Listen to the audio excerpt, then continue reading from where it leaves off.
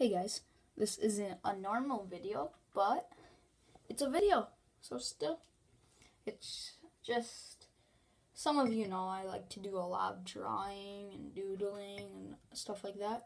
So I'm just going to show you my equipment and two things I have drew recently. So, let's play the intro.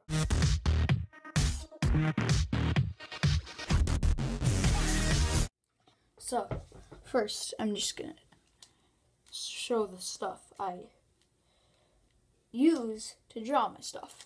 Sometimes I use a mannequin, rarely, but it's just a nice feature to my desk.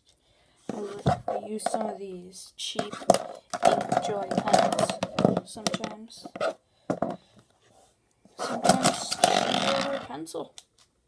And then sometimes I use some of these fancy Sharpies, gel pens. I use a black gel pen a lot. That's pretty much all the stuff I use, but let's show you guys what I've drawn recently. This one's so big that I just moved my camera. Boom the Golden Gate Bridge, and I think it's this is just done like 10 minutes ago. And it took me approximately 15 minutes to do. I know some of you thinking that's fast, but I'm good. so that's that one. It's nice. Uh, and it's heavy. And a few days ago, I just drew this because I can. A guy wearing a Batman t-shirt taking a selfie from the apocalypse.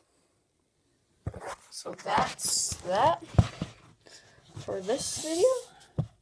And let's just get you a better look from the ground of that one.